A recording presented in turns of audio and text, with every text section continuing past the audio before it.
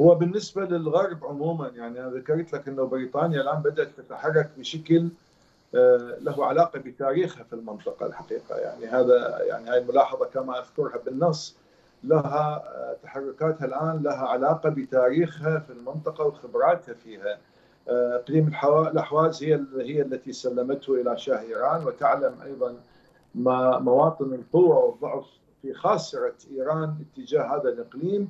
الآن هي ربما آه، لها القدرة على تحريك الشارع الأحوازي بشكل آه، متمكن اعلاميا متمكن يعني من حيث القدرة على الاستمرار وتغذية الحركات الموجودة. بعضها موجودة في بريطانيا آه، وجذورها موجودة في الأحواز وبعضها موجود في دول أوروبية وهكذا.